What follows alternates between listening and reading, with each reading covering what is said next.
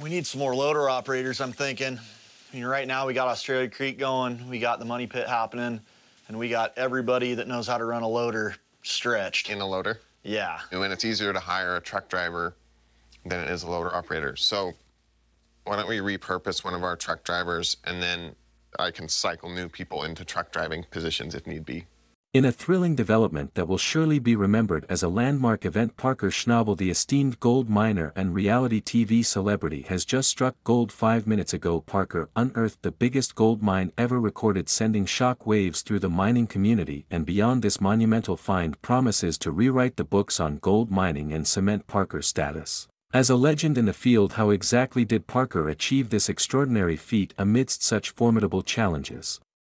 Stay tuned to witness the Excitement and drama of how Parker Schnabel discovered the biggest gold mine in history. If you know him well, you'll know this is far from his first bout. Parker Schnabel's rallying cry echoed through the mining site as he turned to the last cut the richest ground they had ever mined. He explained that they were trying to buy a piece of ground in Alaska, so the guys needed to make money. To cover the expensive outlay of the purchase, he urged everyone to work work like a true leader who understood.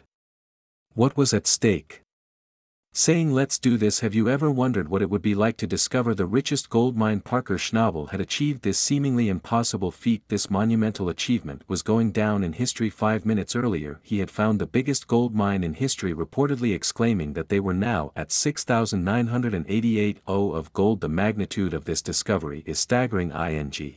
Raising questions about how he did it and what it means for the future of gold mining. Mitch Blaschke Parker.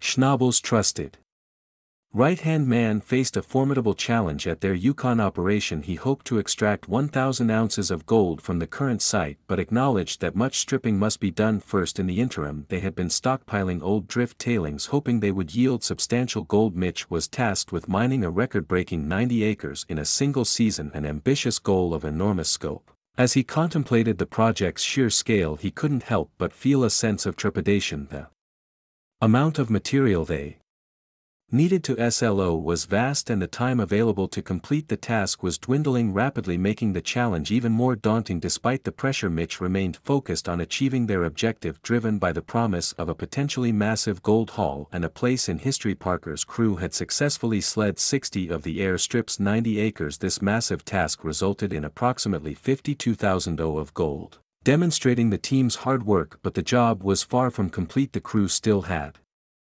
30 acres left and the clock was ticking as the mining season drew to a close. The significance of this moment raises a big question. What does this mean for the future of gold mining? Before we explore how Parker Schnabel discovered the biggest gold mine in history how well do you know this gold rush star? Parker Schnabel is a well-known figure in reality television primarily recognized for his work on Discovery Channel's hit show Gold Rush. Contributing to his shocking net worth Parker was born into a family with a rich history in mining and has made a name for himself through his exceptional skills and determination in the gold mining industry despite his numerous accomplishments and years of experience in the mining industry. Parker Schnabel was born on July 22, 1994 making him only 30 years old his journey began early working at his family's Big Nugget mine in Haines Alaska standing at 6 feet tall Parker's commanding presence combined with his rugged demeanor enhances his image as a determined and hardworking miner both on and off the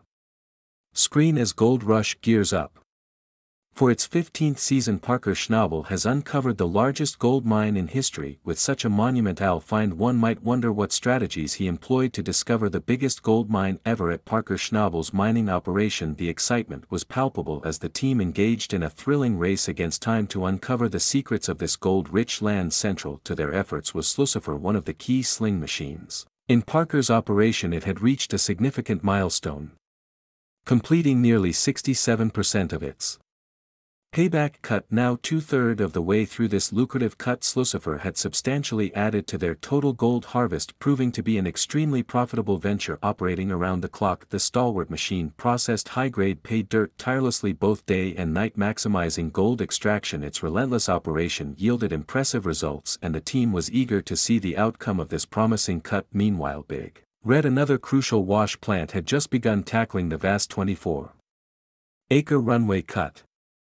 This cut represented one of the mining process's largest and most challenging aspects Mitch Blaschke reflected on the difficulty of their task pointing out that the runway cut was a massive undertaking. They were processing more than twice the usual amount of material which would generally be sent to the wash plants with further contributions from Big Red and Slucifer for the crew's efforts. Bring in a whopping 620 ounces of gold worth a staggering $1 million their hard work adaptability and strategic planning payoff propelling them closer to their season objectives as they celebrate the substantial results from Big Red and look to maximize returns from Slucifer one can't help but wonder how will they maintain this momentum and what other challenges might arise as they continue to push the limits of their operation keep watching to find out the following day at Parker Schnabel's Indian River claim the scene is a flurry of activity, as Mitch grapples with the critical task of processing an enormous amount of paid dirt.